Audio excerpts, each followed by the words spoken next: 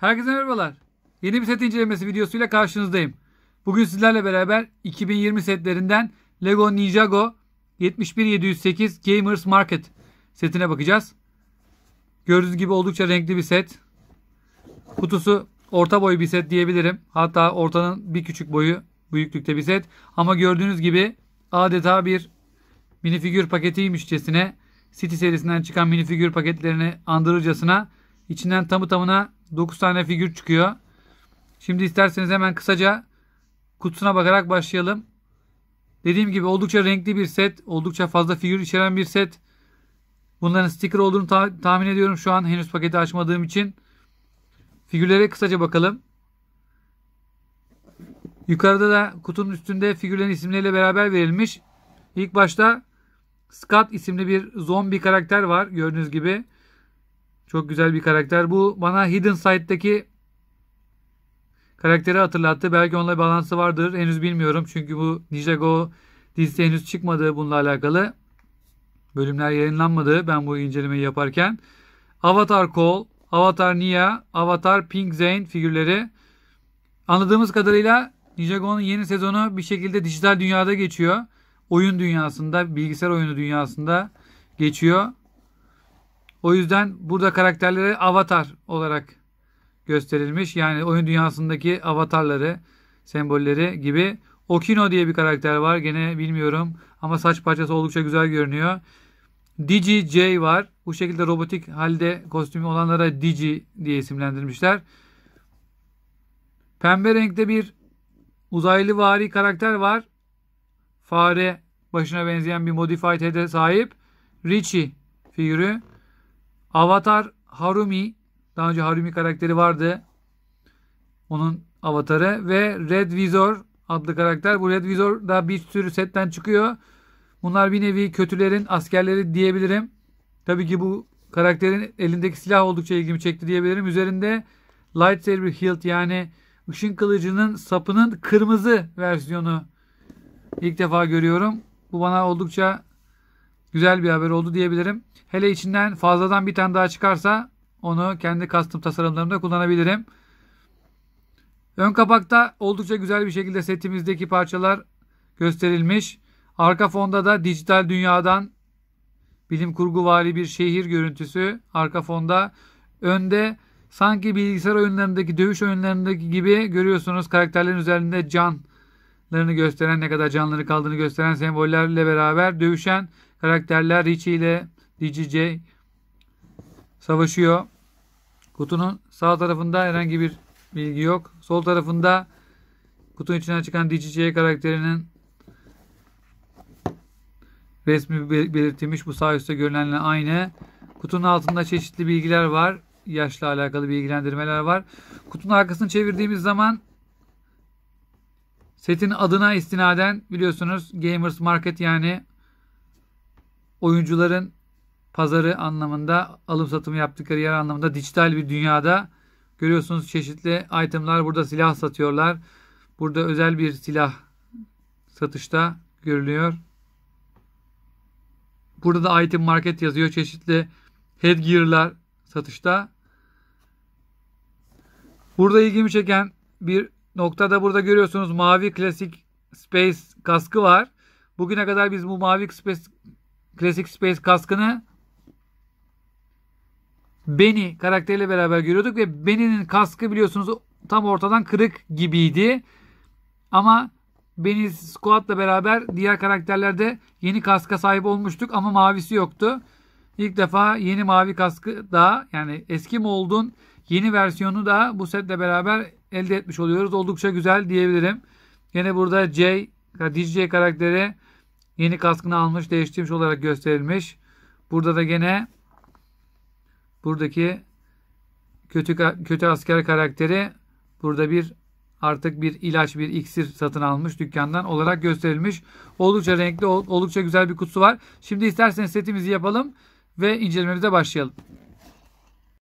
Evet seti içerisinden çıkan parçaları birleştirdiğimizde karşımıza bu şekilde 3 adet dükkan çıkıyor. Burada en sağda gördüğümüz item market yani çeşitli ekipmanların olduğu, ögelerin olduğu bir dükkan. Bir tane özel bir silahın çıktığı bir dükkan ve bir tane de silah dükkanı çıkıyor. İsterseniz bunlara yakından bakmadan önce mini figürleri kaldıralım. Onlara birazdan daha detaylı olarak bakalım. İlk olarak bu Item Market adlı dükkana bakalım. Gördüğünüz gibi burada bir adet pembe kostümlü ninja Zeyn'in pembe kostümlü hali var. Kostümü satıyorlar bu dükkanda diye tahmin ediyorum. Ellerinde şurikenler var. Burada CR cinsinden bir para birimi olduğunu düşünüyorum. Kredit dedikleri. Burada çok güzel bir başlık standı var. Miğfer, şapka. Burada az önce kutunun üzerinde gördüğümüz resimde bahsettiğim bir klasik uzay adamının yeni versiyonu. Remake versiyonu var. Çevirdiğimde burada bir tane denizci şapkası görüyoruz. Gene üstte bir tane uzak doğu tarzı pearl gold renginde şapka. Bir tane safari şapkası. Çeşitli stickerlı parçalar var. Oldukça güzel. Bu şekilde bir dükkan. Kullanılan parça tek tek girmeyeceğim. Oldukça uzun bir video olmasını istemediğim için. İkinci olarak özel dükkana bakalım. Özel ekipman dükkanına. Özel ekipmandan kastım bu. İlk defa Ninjago'nun bu temasına çıkan doğal molded kılıçlar. Oldukça güzel trans pink renkte bir kılıç parçası. Gördüğünüz gibi oldukça güzel. Beyaz handle'ı var. Bunu böyle soru işaretli stickerlı bir parçanın içine takıyorsunuz. Yapıya baktığımız zaman yapı üzerinde hem teknolojik tarzda tasarlamışlar hem de uzak doğudan esintiler taşıyor. Burada gördüğünüz megafon ya da Star Wars'un ilk senelerinde gördüğümüz lazer silahı parçası kullanılmış kırmızı renkte. Oldukça güzel köşeli detaylara sahip.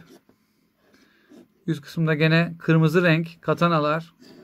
Katana parçasının kırmızı rengini setten çıkması da oldukça güzel. Burada gördüğünüz büyük 6'ya 6 tile parçası üzerindeki sticker print değil maalesef ama ben printi oldukça güzel yapıştırdım. Oldukça güzel olduğunu düşünüyorum. Tam merkez kısmında mold'dan kaynaklanan bir görüyorsunuz ışıkla size belli etmeye çalışıyorum. Tepecik var. Sticker yapıştırınca o kısmı birazcık kötü gözüküyor ama o çok detay bir kusur diyebilirim. Genel hatlarıyla oldukça güzel. Tek bir kusuru var. Belki de bu ekipmanı buraya yerleştirmek için buraya bir ortasında stud olan modified tile parçası yerleştirebilirlerdi diye düşünüyorum. Bunu bu şekilde durması için. Son olarak dükkanların hepsi birbirinden güzel elbette. Silah dükkanı burada görüyorsunuz silah sembolü. İlk defa Ninjago'nun bu temasında çıkan yeni bir transparan renk var biliyorsunuz. 2020 yılında çıktı. Hatta 2019'un sonlarında da görmeye başlamıştık. Bu yeni bir renk arkadaşlar. Bunu şimdiye kadar bu gördüğünüz neon transparan yeşil neon transparan sarı pardon renkte ve açık mavi renkte gördük bu parçayı.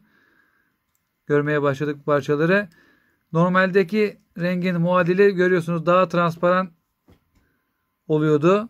Ama yeni versiyonu daha buğulu bir görünüme sahip.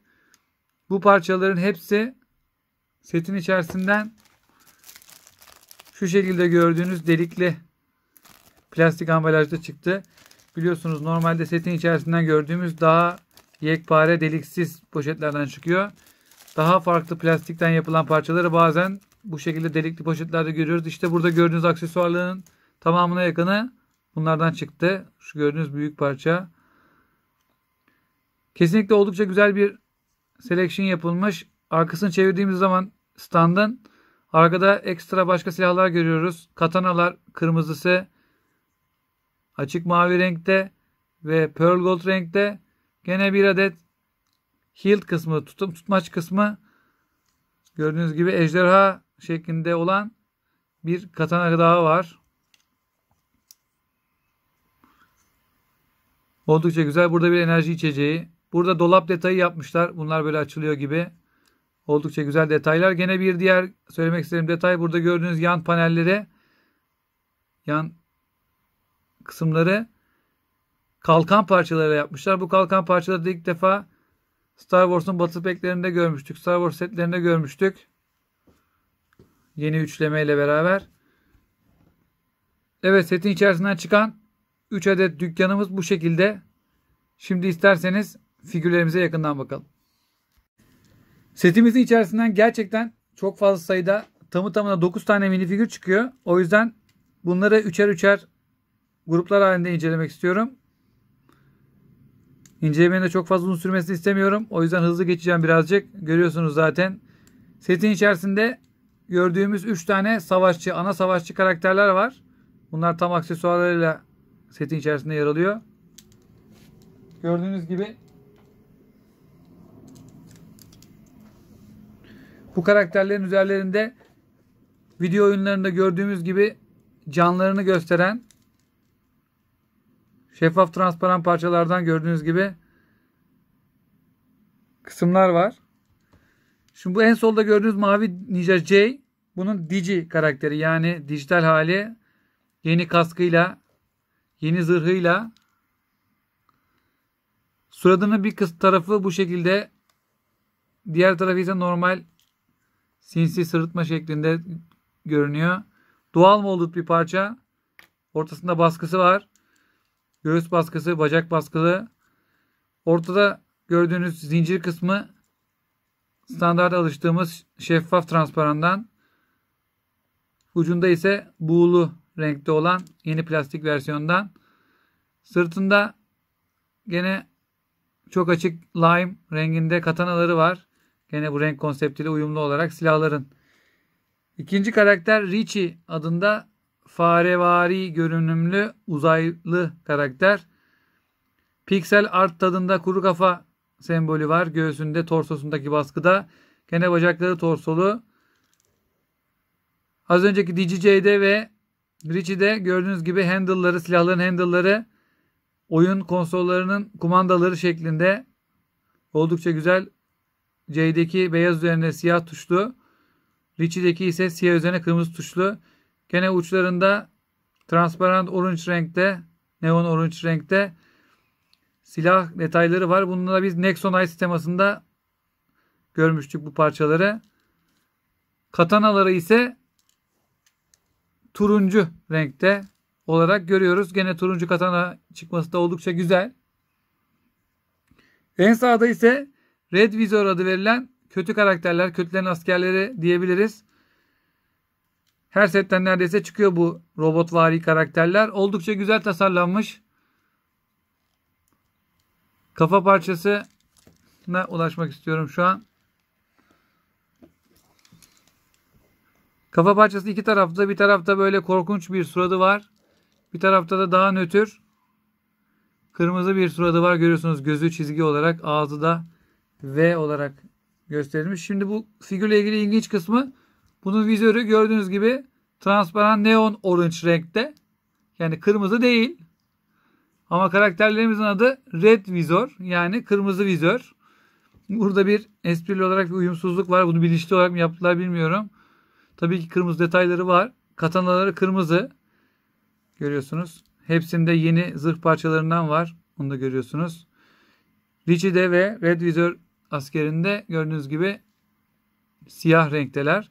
Gene elinde silahta dinozorları avlamada kullanılan Jurassic Park setlerinde kullanılan ve çeşitli dinozor temalarında kullanılan silah üstünde de bir dürbünvari bir eklenti yapılmış. Bu da bir lightsaber hilt yani ışın kılıcının sapı. Bu parçadan fazla çıktığı için oldukça memnunum. Birazdan fazla parçalar arasında göreceğiz. Silah tasarımını da oldukça güzel yapmışlar. İlk üç karakterimiz bu şekilde. İkinci üçlümüze geçelim. Bu en soldaki karakter zombivari görünümüyle Scott adındaki karakter. Yanında silah dükkanının işletmecisi olduğunu düşündüğümüz kutu üzerindeki resimden Okino ve en sağda da Avatar Harumi. Hani Harumi karakterini daha önce biliyoruz bana daha önceki temalarda, daha önceki senelerden. Onun avatarı Scott karakterinin oldukça güzel jean görünümlü pantolonu, ceketi, pardon yeleği. Üzerinde çeşitli ejderha detayları var. Kapşon parçası şapkasıyla beraber oldukça güzel. Kahverengi şapkası, siyah kapşonu var. Kafası iki taraflı. Görüyorsunuz yüzünü kapatan bir detay, kumaş detayı. Kızgın surat. Sırtında da gene ejderha ile beraber bir yıldırım sembolü var. İkinci karakter silah dükkanını işleten Okino karakteri elinde Çin tarzı bir kılıç var. Bu karakterin özellikle saç parçası oldukça güzel. Ben ilk defa sahip olduğum bir saç parçası. Kafası iki taraflı. Bu tarafı bağırıyor kızgın bir şekilde. Bu tarafta da kızgın. Her iki tarafta da kızgın. Saç parçası oldukça güzel. Doğal molded. Orta kısmı koyu kırmızı. Geneli siyah. Gene oldukça güzel bir aksesuar. Çantası var. Bacaklarında baskı yok. Torsosu da beyaz bir uzak doğu tarzı. Harumi'nin avatarına geldiğimiz zaman da beyaz saçları oldukça güzel. Saçı biliyorsunuz yumuşak plastikten. Arka tarafta daha nötr, ön tarafta daha kızgın bir suratı var. Dişlerini sıkmış. Kırmızı göz boyası gözlerin etrafında oldukça güzel. Pearl Grey renginde koyu gri katanası var. Kıyafeti de Kill Bill filminde Uma Thurman'ın giydiği kostümü herhalde atıfta bulunmuşlar, referans almışlar. Oldukça güzel. Açık turuncu renginde bir eşofman tarzında kıyafeti var. Torsosunda ve bacaklarında baskı var. İkinci grubumuz da bu şekildeydi. Son olarak bu üçlü figüre bakalım. Herhalde kutudaki en zayıf karakterlerden biri Avatar Nia dalgıç kıyafetiyle City setlerinde sıklıkça, sıklıkça gördüğümüz son zamanlarda dalgıç kıyafeti. Güzel doğal molded olmayan bakalım. Evet boya kullanılarak renklendirilmiş, printlenmiş saç parçası. Su altında dalgıç kıyafetiyle olduğu için su altına uygun olarak bir gaz maskesi var. Güzel bir parça gaz maskesi. Gene elinde bir zıpkın var. Bacaklarında baskısı yok. Tek tarafı mutlu, gülen surat. Bir tarafı da kızgın surat şeklinde. Standart bir kafası var.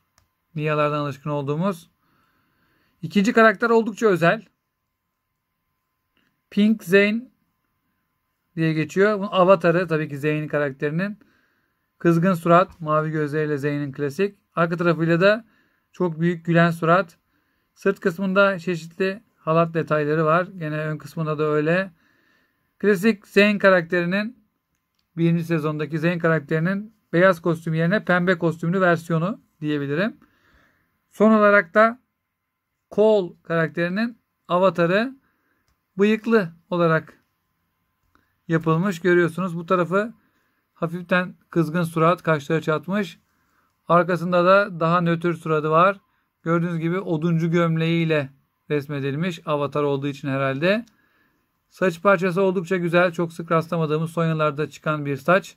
Sadece kol için değil genel olarak City temasına da uygun bir saç olduğunu düşünüyorum. Sili olarak da ilginç şekilde iki tane kazma koymuşlar.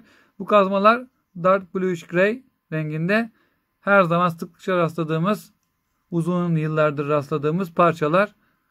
Herhalde iki karakter Avatar Kol ve Avatar Nia kutunun içinden çıkan iki tane en zayıf figür diyebilirim. Az önce bahsetmiştik. Bu item market dükkanında, aksesuar dükkanında bir tane headgear vardı. Klasik uzay adamlarının kaskının bir örneğini görüyorduk. Modern halini. Şimdi bunun neden özel olduğundan kısaca bahsetmek istiyorum. Neden birçok legocuyu heyecanlandırdığından bahsetmek istiyorum. Klasik uzay logolu adamlar videomda da bahsetmiştim. Burada gördüğünüz 1980'lerin başından kalma bir uzay adamı. Oldukça iyi kondisyonda saklama şansı bulmuşum. Gördüğünüz gibi oldukça benziyor. Bu kask az önce gösterdiğime. İkinci gördüğümüz ise Benny karakteri. Lego Movie 1 ve 2'de gördüğümüz Normalde klasik bu 80'lerin son başında çıkan kasklar oldukça kolay kırıldığı için çene kısımları ki bunun detaylarını birinci videoda az önce bahsettiğim uzay adamları videomda görebilirsiniz. Nitekim bu kask yenilenmiş haliyle yani çene kısmı daha kalınlaştırılmış versiyonu. Bu mavi karakterler daha önceki beyaz ve sarı karakterlerden daha sonra çıkartılmış oldukları için kasklarda da yenilemeye gidilmişti. Çene kısımları güçlendirilmişti. Nitekim daha eski versiyonlarında çene kısmı daha da inceydi. 80'lerdeki bu figürlerin 70'lerin sonunda çıkanlarda daha inceydi. İşte bu çene kısmındaki kırılma problemine istinaden espri olarak Beni karakterini yaratırken mold olarak sanki çene kısmı kırık gibi yapmışlardı. Bu gördüğünüz çene kısmı aslında kırık değil. Parçanın kendisi bu şekilde. Sanki kırık gibi. Beni Squad adlı sette de çeşitli uzay adamlarının yeni versiyonlarını görürken tabii ki orada mavi karakter yerine Benny'i koymuşlardı. Normal bir mavi karakter yoktu. O yüzden yeni setimizden çıkan bu kaskın da yeni halin, remake halin sağlam versiyon olması açısından önemli. Bir de bizim Modern Helmet dediğimiz, modern kask dediğimiz versiyon var. Direkt vizör takılan versiyonu. Bu da 80'lerin ortasında çıkan bir versiyondu. Gördüğünüz gibi vizör halde bu şekilde.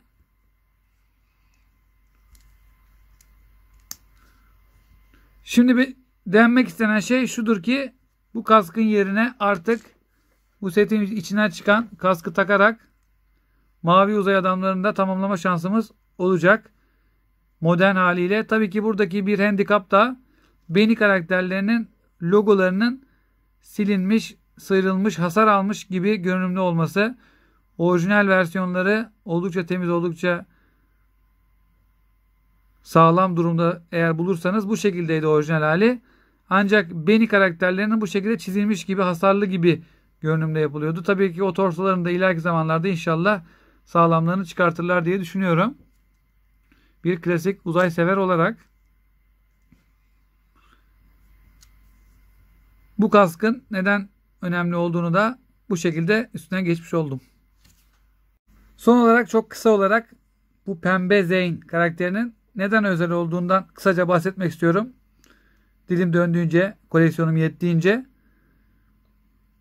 Ben özel olarak Ninjago koleksiyonu yapmıyorum. O yüzden elimdeki örneklerden vereceğim ama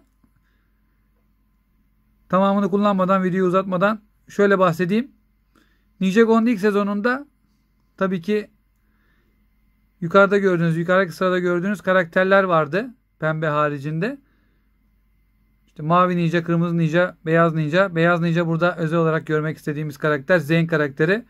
O zamanlar henüz robota dönüşmemiş haldeyken. Burada Zen karakterinin torsosunda bir ejderha sembolü var. Bu ilk sezonda iki tür kıyafetleri vardı. Bir mavi ve kırmızıda gördüğünüz gibi üzerinde ip deseni ve ortasında küçük sembol olan kıyafetleri vardı. Bir de böyle üzerinde bindikleri ejderhayı gösteren ejderhaları hak ettikten sonra bindikleri kostüm vardı. Ben de Zeyn'in bu halindeki kostümü var. Bu versiyonu yok. İşte bu pembe versiyon da Beyaz Ninja'nın bu gördüğünüz kırmızı ve mavideki olduğu versiyonunun baskısının muadilini yapmışlar. Tıpatıp aynısı olmadığı için ben burada beyazın bu örneğini vermek istiyorum. Gördüğünüz gibi kafa bantları aynı. İşte onun o klasik Ninjago 1. sezon versiyonunun pembesi bu setin içerisine çıkıyor. Oldukça güzel. Alt sırada gördüğünüz ninjalar ise klasik 1990'ların sonunda çıkan ninja teması vardı. Bununla ilgili bir tane inceleme videom ve çeşitli katalog inceleme videolarında görebilirsiniz bu temayı. O zamanlar da gördüğünüz gibi siyah, kırmızı ve gri ninjalar vardı. Zaten Ninjago'nun ilk sezonundaki kafa bantlarıyla o zamanki kafa bantlarının aynı mold olduğunu görebilirsiniz. Bir farkla eski moldlar daha mat renkteyken gördüğünüz gibi plastiği Ninjago'lardakiler daha parlak renkte çıkartılmıştı. Tabi daha sonraki yıllarda birçok bir farklı kafa bandının headgear'i çıktı. Bu ilk klasik olan versiyonu ama gördüğünüz gibi ninjalardan aldığını ninja temasından klasik ninja temasından aldığını görebilirsiniz. Arkalarında gördüğünüz gibi bir adet katana taşıyabilecekleri klip var. Daha sonraki versiyonlarında iki tane katana takan takılan versiyonlarını da görmüştük. İşte Pembe Ninja'nın Ninja Go lore'unda diyelim. Ninja Go hikayesindeki Legocular açısından önemi de esprileri yanında işte bu beyaz versiyonun yeni pembe versiyonu olmasına kaynaklanıyor. Set ile ilgili son değerlendirmelerime geçmeden önce setin içinden çıkan fazla parçalara bakmak istiyorum. Çünkü ben bugüne kadar bu kadar fazla aksesuarın bu boyutta bir setten çıktığını görmedim diyebilirim. Tabii ki setin içerisinde inanılmaz fazla aksesuar çıkmasının sebebi gerçekten orijinal olarak setin içinde in, inanılmaz fazla çeşitte, renkte aksesuar olması. Örneğin setin içerisinden tam 4 tane fazla katana çıkıyor. Açık lime, kırmızı, açık mavi ve pearl gold renginde 4 tane klasik katana çıkıyor. Bunun dışında bir tanesi beyaz, bir tanesi siyah ki bunlar genelde sık rastladığımız renkler ve çok daha nadir rastlanan yeni çıkan diyebiliriz. Kırmızı lightsaber hilt yani ışın kılıcı sapı parçası. Özellikle bu kırmızı versiyonu custom figürlerimde oldukça severek kullanacağım ekstra bir parça oldu. Çok sevindim diyebilirim.